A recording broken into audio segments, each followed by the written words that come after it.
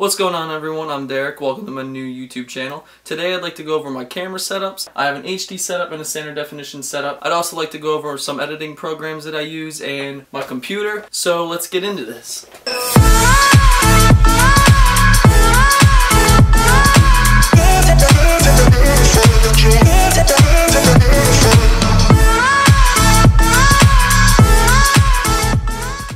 So the first setup I'd like to get into would be my HD setup.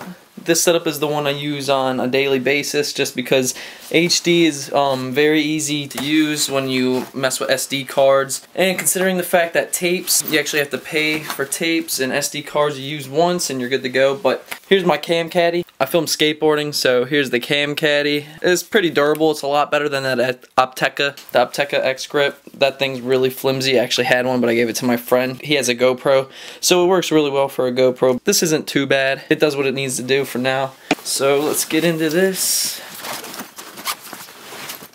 First thing you see when you open it up, I have um good amount of lens, nothing too expensive. We'll start off with the body first. I have a Canon T4i with a battery grip. This thing's awesome. I'm filming on a Canon T2i right now. I want to say that the sensors and the megapixels and all that, the quality's all the same. So, two very good cameras.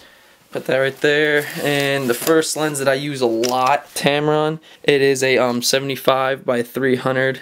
This thing works great, you know, when you're shooting sports. Second one here is the Opteka fisheye. This thing's pretty good for the price. I can I want to say you can get it for about $165 on Amazon. Um, works just as good as the Rokinon or the Samyang, whatever the hell it is. Here I have Canon 35 by 80 millimeter. I don't use this much. Never really got around to it honestly, but my favorite lens is my Canon 50 millimeter.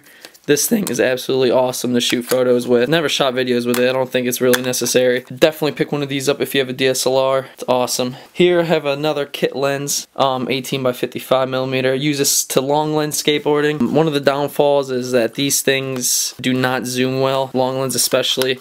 So you kind of have to just work with what you have unless you have a HVX, HMC 150, um, HPX, things like that. Can't really do much with that. Here's another Tamron. Um, I want to say this, yeah, this is the 80 by 210 millimeter. And funny story with the setup I have, all these lenses besides the 50 millimeter and the fisheye came with the camera and I traded all this stuff right here for a GoPro Hero 4 the 4K edition. I think it's the 4 so he traded me all this for just the GoPro and some attachments which I couldn't pass up. That's a hell of a deal if you ask me and I still think I came up on top with that. But yeah that's um pretty much it for my HD setup. Like I said the Canon T4i works really well. Definitely thinking about getting like a T6S or something. Try to keep it simple, you know, or um, 70D, something like that. I want to upgrade the T4i, but like I said, it works great. The quality is amazing. I want to say that's about it when it comes to my lens and my camera setup for HD. So we're going to go on to my favorite, which is my standard definition.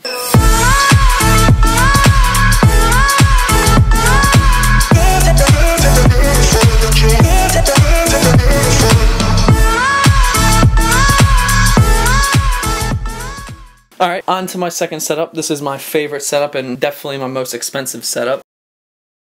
Here's my Sony VX1000. It's in pretty mint condition.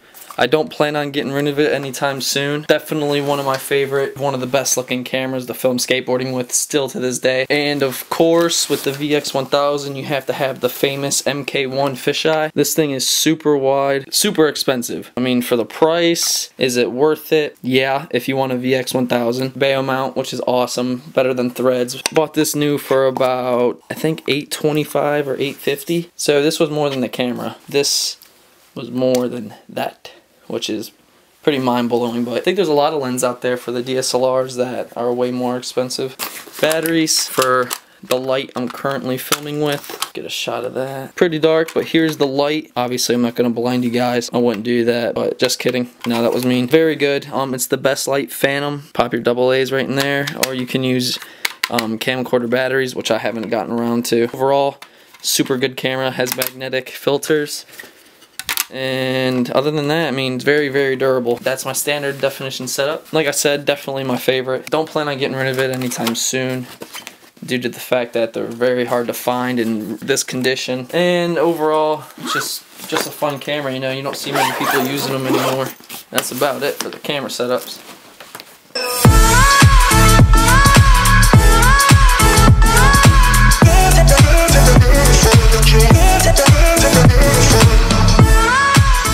Alright everyone, thanks for watching this video. If you liked it, please leave a like, comment, and subscribe. Share this video. Um, I paid for everything in this setup, so I'm not spoiled. And I don't want you guys thinking I'm spoiled. I actually paid for everything because this is what I love to do is make films and film skateboarding. So thanks for watching and stay tuned for next time.